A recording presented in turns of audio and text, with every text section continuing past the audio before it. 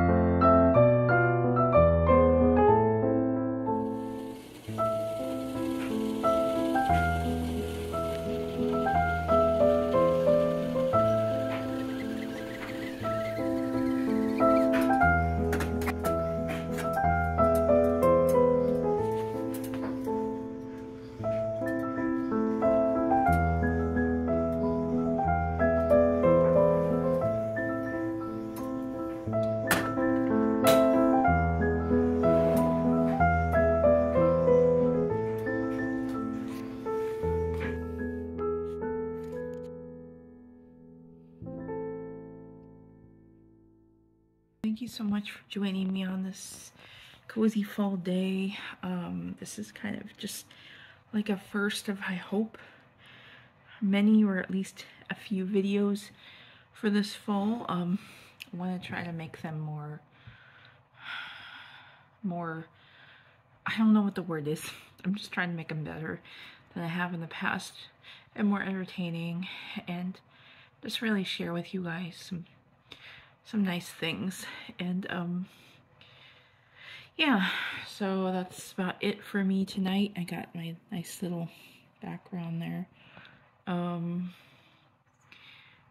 yeah I did make an update video a while ago but I'm between um, editing programs. I don't even know when this video is going to be up and I hope sooner rather than later because um, I'm still learning the new system, I mean not system, but the new video editing program that's on my new laptop. Um, this is my new laptop. And I'm just, yeah, I really hope it works out because I really want to share with this video. Have a wonderful spooky season and a wonderful cozy autumn and I will see you guys in the next video.